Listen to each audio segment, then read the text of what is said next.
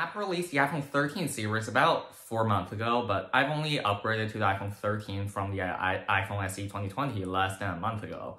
And in this video, I'm going to talk about all aspects of the phone and my experience with the iPhone 13. This is my first review video in a while, so just sit back and enjoy. The iPhone 13 is nothing special. It's just a minor improvement from the 12 it seems from the outside. I mean, all that's different is a different camera layout and a smaller notch. The screen is the same size, it still retains the same general flat edge design, and it's very, very average or even below average in some aspects compared to the other 2021 and 2022 flagships.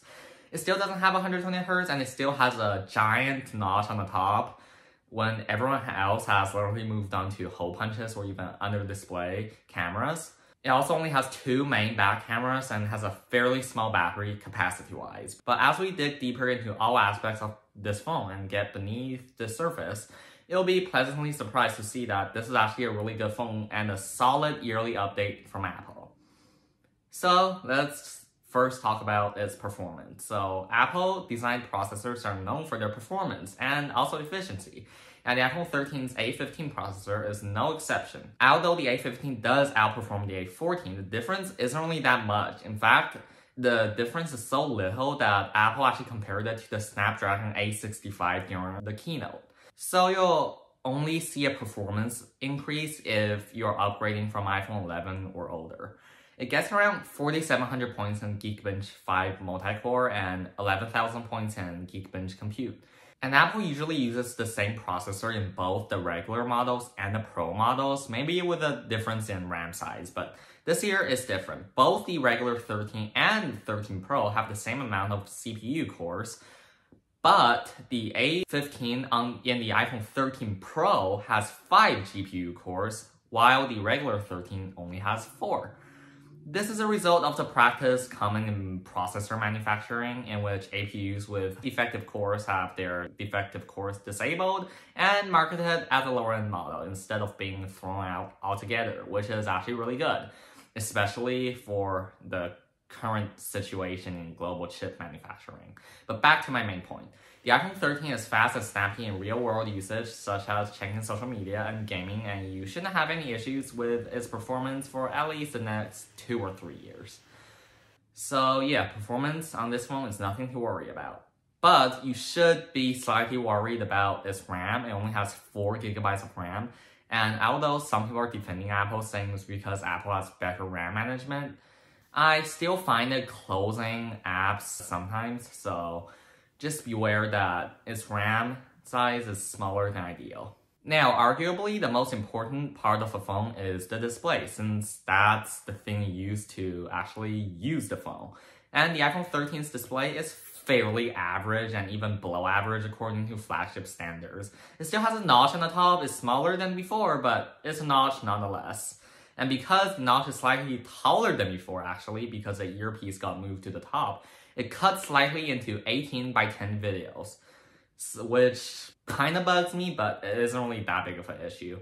The display is 6.1 inches diagonally, and it gets fairly bright with a normal max brightness of 800 nits, so it's definitely bright enough for outdoors usage, and can boost up to 1200 nits when consuming HDR content, and that's very average compared to other flagships. The display, unfortunately, is still 60Hz, which is a shame considering that it's a 2021 flagship, and basically every other phone manufacturer's flagships and even mid-range phones support 120Hz high refresh rate. Otherwise, this average display supports everything it expects to support, like P3 wide color and a claimed 2 million to 1 contrast ratio, and it also supports HDR. And it's also an OLED panel, so it does display true blacks, and the viewing angle is pretty good. Now, the battery life, which is very important to me, especially because I was upgrading from the SE 2020, which had a terrible battery life.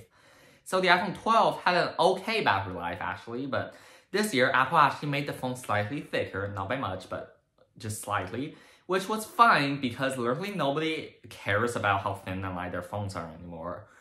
So Apple was able to physically increase the battery size, but if you look at other flagship phones at the price range, you'll find they would usually have batteries with capacities of at least 4,000 milliamp hours. But the iPhone 13 has a comparably tiny 3200 milliamp hour battery, usually found in smartphones that are already four or three years old. So you would expect the battery life to be fairly average or even bad, but that's actually not the case at all because the A15 processor's extraordinary efficiency and a slight increase in physical battery capacity, the iPhone 13, at least according to my experience, has an extraordinary battery life, especially compared to its battery capacity. And according to some YouTube comparisons, it has the same amount of battery life or even better than some flagships like the S21 from Samsung. I use my phone a moderate amount a day, like occasional gaming, checking social media, watching videos, streaming music, and taking pictures and videos. And I did not have to charge my phone during the day a single time since, since I got this phone, which is a pretty big achievement, I would say. I often finish the day with around 30% of battery left after five and a half hours of screen on time. If the battery depletes at a constant rate, then it can easily get over seven hours of screen on time. So this phone's battery life is incredible and easily above average, especially for its physically small battery. Like, I'm seriously impressed how Apple pulled it off. And yeah, that makes a pretty solid yearly upgrade for the battery life. Now, camera. So this phone has a fairly ordinary camera array, or even below average, with two sensors, a regular and a 0.5 time ultra wide. Both are 12 megapixels. The main sensor has a f1.6 aperture and the ultra wide is 2.4 and has an average 120 degree field of view, which is actually identical to last year's iPhone 12 Pro. They can all shoot 4K videos in 60 FPS. 12 megapixels doesn't sound like a lot, but the megapixel count isn't everything, and a lot of people need to understand this. So, so let's look at what pictures from this phone are actually like. So as you can see, the pictures look really good. The colors are really balanced, the dynamic range is good. Although the grasses and the tree in the top left could definitely be a bit brighter. You can see the sky and the grass and the houses are the color of them are perfectly balanced. The dynamic range is good. Although there certainly is room for improvement as the hills does look pretty dark. The shutter speed is fairly fast and the photos tend to lean towards the cooler side. Whether that's a good thing or a bad thing depends on preference.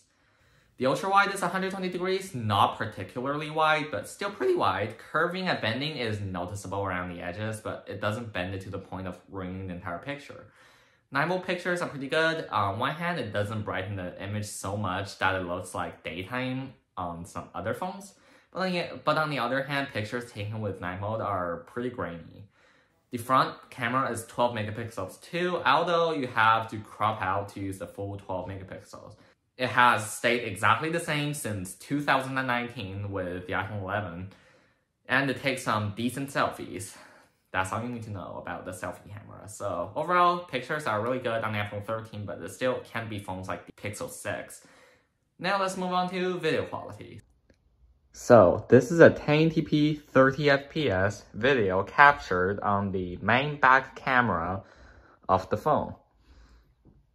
And the audio is also recorded on the phone too. You can get a sense of the stabilization here. I'm currently uh, jogging in place while filming this. See if the sensor shift stabilization would help.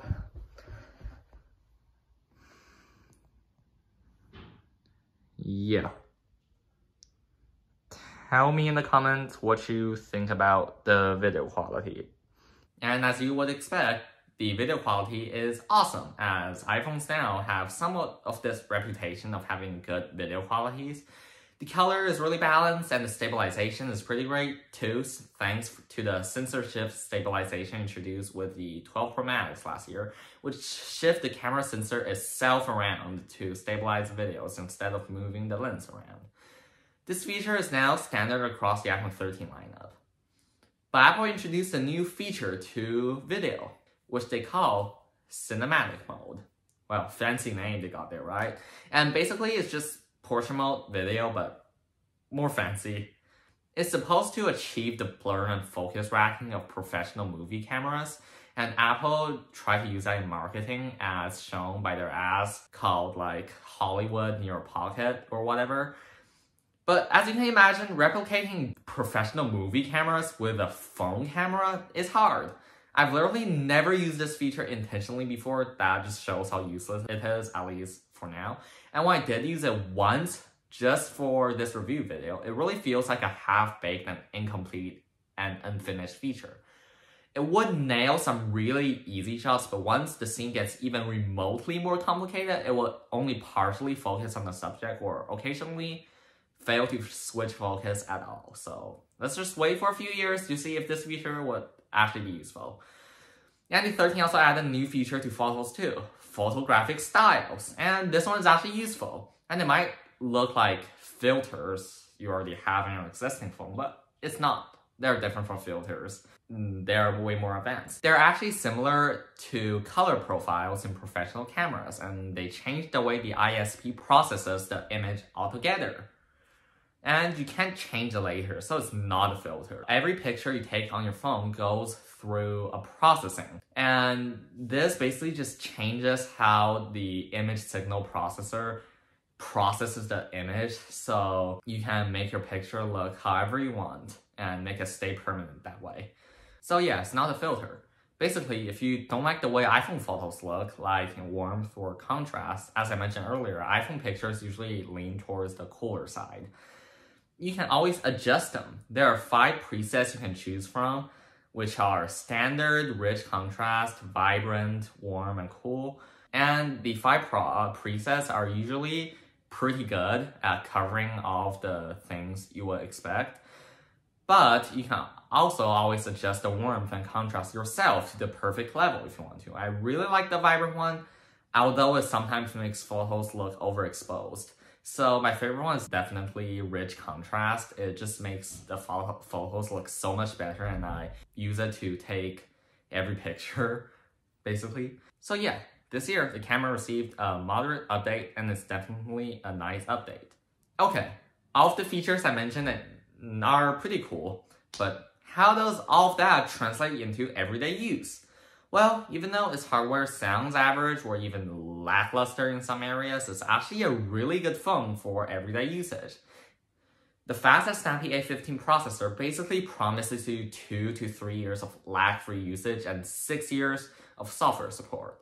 The camera array, although few in quantity, takes very high quality photos and videos alike, with new features too.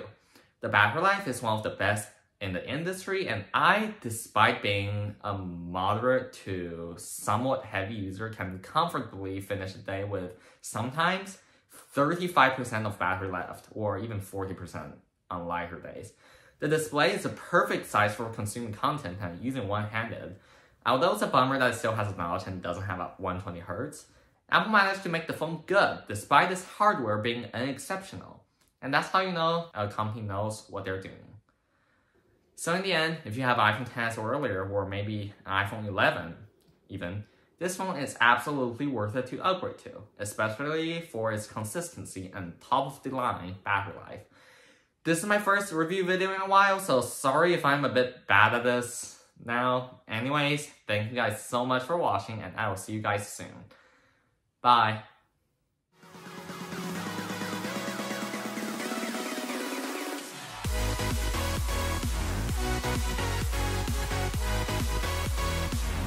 We'll be right